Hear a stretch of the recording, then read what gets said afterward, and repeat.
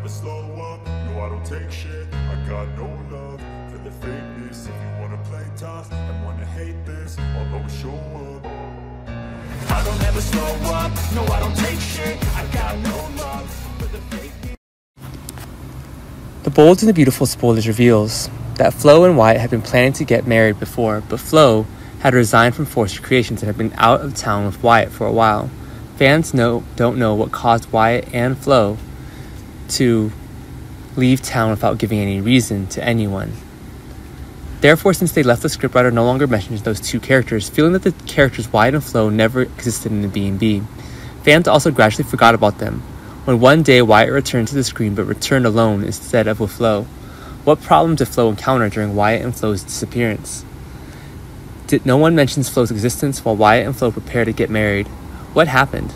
Before that, because Flo helped Reese kidnap Hope's child, which made Brooke extremely angry, Flo's actions also made everyone hate Flo.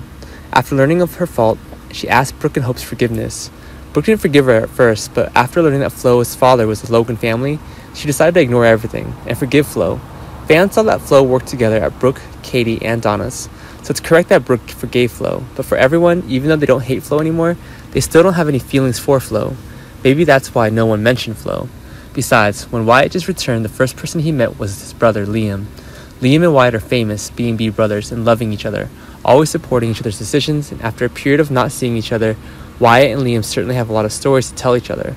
Wyatt and Liam spent a lot of time sitting and talking, asking about their health and life in the past time. What has changed? However, only Liam talks about his life and everyone else, and Wyatt always avoids talking about his life after leaving town and the reason for returning to town. But Flo was both engaged to Wyatt and with him left town.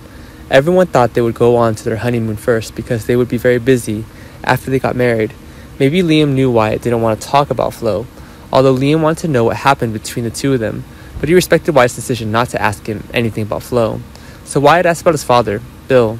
Having found a suitable woman for his father, he felt that his father had been lonely for too long, and it was time to find a Bill a life of partner and ask about Hope's marriage, and he's still going to the well, or is he still having feelings for Steffy?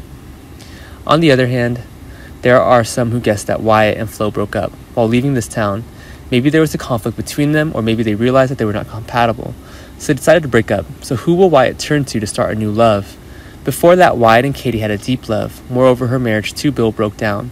However, Katie also has a love affair with Wyatt, like Carter. But maybe Katie will have to give it up because Carter belongs to Quinn. Could Wyatt see and take advantage of Katie's singleness and pursue her again? As for Bill, perhaps his and Katie's return was hopeless. As a result, will Bill's progress to a new relationship with the woman he saved by the pier, Li Finnegan? Of course, fans would choose Katie to return to Wyatt because they feel that Wyatt and Katie were born for each other. Their love is intense, sweet, and a little bit mixed. This is the dynamic of youth Moreover, besides Wyatt, Katie doesn't have anyone else to choose from because the character that the writer surrounds Katie is too small. The cast is still on a tight budget, but the scriptwriter skillfully turned the film's shortcomings to weaknesses, which made the film more and more popular around the world and made fans more and more passionate about B&B.